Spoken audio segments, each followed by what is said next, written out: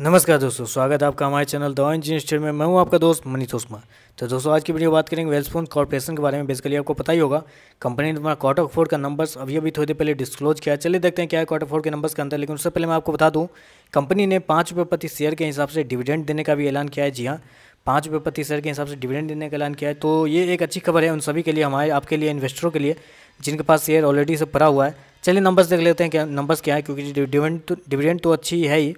Numbers देखिए पिछले quarter में क्या हुआ था? कंपनी ने तेरह सौ इक्यासी करोड़ का रेवेन्यू दिया था। इस क्वार्टर में अठारह सौ इकतीस करोड़ का दिया है और पिछले साल चौदह सौ बयालीस करोड़ का दिया था। तो देखा जाए तो अप्रोक्सीमेटली एक अच्छा खासा जंप देखने को मिला है कंपनी के रेवेन्यू के अंदर साल दर साल और क्वार्टर क्वार्टर दोनों।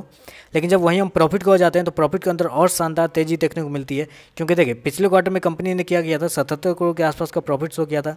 इस क्वार्टर में तीन सौ पंद्रह करोड़ का प्रॉफिट शो किया है। और पिछले साल एक सौ तिरानवे करोड़ के आसपास का प्रॉफिट हो गया था। तो देखा जाए तो प्रॉफिट के यहाँ भी अच्छी खासी तेज़ी देखने को मिलती है कंपनी के अंदर, क्योंकि इस कंपनी ने रिवेन्यू और प्रॉफिट दोनों में एक अच्छी खासी तेज़ी देखने को मिली है, जो कि मैं आपको बताया कि कंपनी ने दो नंबर्स दिए हैं, एक स्टैंड लोन एक कॉन्सोलीडेट तो ये स्टैंड लोन रिज़ल्ट रहा, लेकिन कॉन्सोलीडेट रिज़ल्ट जब हम देखने के लिए जाते हैं तो वहाँ पर हमेशा थोड़ी सी मतलब थोड़ा सा डेंट देखने को मिलता है। डेंट कैसे देखने को मिलता है, देखिए, वहाँ पर भी यही है।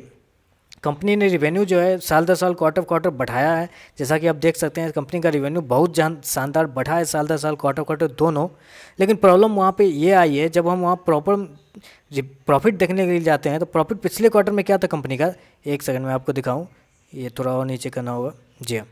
तो उस समय प्रॉफिट क्या था? कंपनी का जो प्रॉफिट था, अड़तीस करोड़ के आसपास था। जंप होकर इस क्वार्टर में दो करोड़ हो गया, लेकिन पिछले साल कंपनी का प्रॉफिट तीन सौ बहत्तर करोड़ के आसपास था।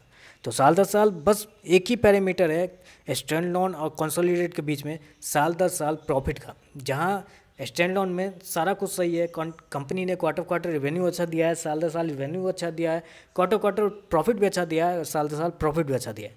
लेकिन जब कंसोलिडेट देखने के लिए जाते हैं तो वहाँ रिवेन्यू शानदार है, साल दर साल क्वार्टर क्वार्टर दोनों। लेकिन साल दर साल प्रॉफिट के अंदर एक हल्की सी गिरावट देखने को मिलती है। तो क्वेश्चन ये होगा कि क्या करना चाहिए? ऐसे रिज़ल्ट के बाद क्या लगता है कि कहाँ तक शेयर जा सकता है, क्या हो सकता है? देखिए, मैं आपको एक चीज़ बताऊँ नंबर्स मेरे हिसाब से बहुत शानदार है, क्योंकि कंपनी ने दोनों जगह पर रिवेन्यू बहुत ही शानदार दिया है। मैं रिवेन्यू का भूखा हूँ। विश्वास कीजिए, मुझे एक ही चीज़ अच्छा लगता है किसी शेयर में, वो है रेवेन्यू क्योंकि प्रॉफिट आज नहीं तो कल ऊपर नीचे होंगे ही, कहीं ना कहीं ये कंपनी एक्सपेंस ज़्यादा करेगी, कम करेगी। इस क्वार्टर में company cost cost of material के ऊपर बहुत ज़्यादा एक्सपेंस की है, इस वजह से कंपनी का प्रॉफिट थोड़ा डल हुआ है।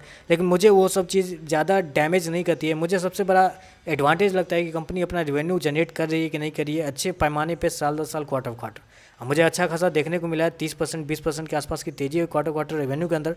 तो मेरे हिसाब से नंबर्स बहुत अच्छे हैं। मुझे लगता है कि शेयर के अंदर एक तेज़ी आपको देखने को मिलेगी ही, क्योंकि शेयर ऑलरेडी अपने फिफ्टी टू वीक हाई से अप्रोक्सीमेटली बीस परसेंट नीचे ट्रेड कर रहा है। दो सौ पचास का फिफ्टी टू वीक हाई है, दो सौ के आसपास पर शेयर ट्रेड कर रहा है। तो मुझे लगता है कि शेयर के अंदर एक तेज़ी आपको देखने को मिल सकती है। कंपनी ने अच्छा डिविडेंड भी दिया है पाँच रुपये का।